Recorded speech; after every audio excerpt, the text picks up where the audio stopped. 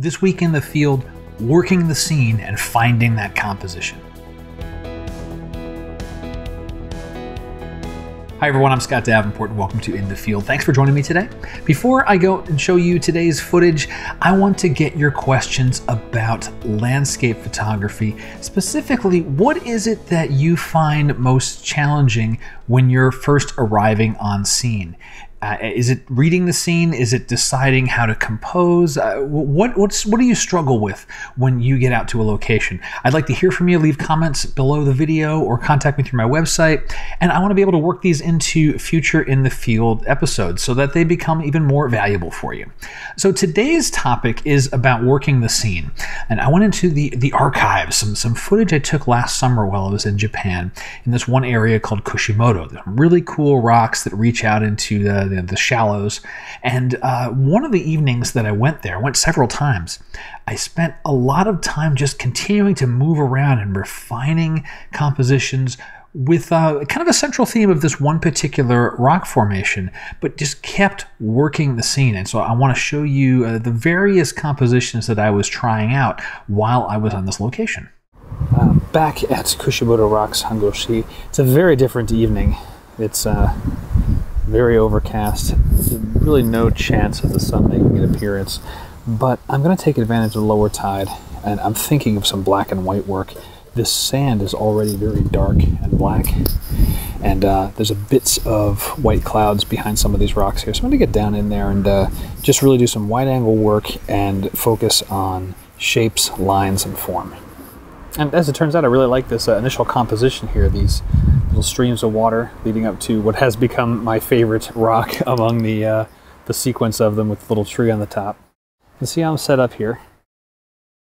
Shooting f16. I've moved exposure compensation down just a nudge. You can see the zebra stripes up here.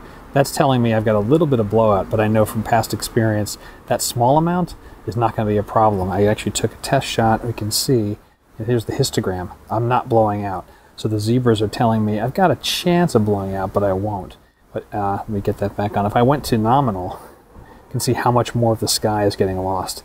So just bringing that down a little bit is helping a whole lot. Letting the camera do the rest. F16, I'm focused in right here, about a third into the frame. Turning off my manual focus. Sorry, turning on manual focus so that I won't, uh, won't refocus and I'll just fire off one more shot. And it's as simple as that. No need for filters. There's uh, nothing long exposure wise here. Everything's very still and calm. And uh, that is going to be a really nice shot. This next one, getting down low, grabbing some reflections in uh, these little tide pools that are here. At a higher tide, this would all be filled in. It would be absolutely gorgeous. I'm going to hope I get an opportunity for that maybe tomorrow. So I'm just going to wait for this gentleman who's scoping out some of the little creatures that live in these things to move through the frame. If he ends up on the other side of this rock, go in the uh, in you know from, from camera left to right, that actually would be really nice for some scale. Doesn't look like he's going to do that though. And I'm really working this one rock, this scene. I've I've moved up closer to it and found a bit of pools of water. Every once in a while, you get a little bit of an ocean surge that comes through, makes a bit of whitewash, and that if I drag the shutter, make a longer exposure, it's to smooth that out and give me a nice reflection of this rock. So I'm framing up vertically so I can maximize that, making it tight just about this, uh, this main triangular rock. I get out the filters. Right now I'm metering at a third, so I'm thinking about a six stop to get a couple of seconds of uh, shutter exposure, and then just wait for the tide to do its thing. This is going to be probably my last shot of the evening. I've just taken a uh, three bracket sequence of these rocks here, some interesting sky. And now I'm just waiting for this. And I'm grabbing the little spills that work their way through this particular chamber. And then I'll blend those in to get a final photo. So that was a nice one there. Let's see how that see how that came out. So right there in the center, you can see like right there, if I zoom right in and try to focus on that, I'm getting the spills that are coming over those rocks, and then as it spread out through the, the chasm there. If I get another couple of uh, nice spills there, I'll, uh, I'll, I'll, be able to fill in this scene pretty nicely. Those are kind of mid-ground things. Those are pretty far away, so I don't need a lot, just a little bit of detail. And I did notice some terrible, terrible looking spot. Yeah, right there. Ooh, look at that thing. Jeez. Right over there in the sky. It's not a bird. It's in every every frame I've taken for the last five minutes. Working the scene is important for a few reasons. First is you'll come away with more than one view of the scene. You'll have walked around, you'll take different angles, different compositions, maybe wide shots, maybe close up shots, all those types of things, and you won't just have a library filled with you know, 50 or 100 takes of the same scene. Now, there are times when that's important. Weather plays a role in landscape photography, and if the weather is changing, you're waiting for the light, yeah, you might have you know 20 or 30 photos of the same scene. But that implies you've hunted around and you worked the scene, you found that composition. Another reason to work the scene is you might find a better composition. You might just find a better photo.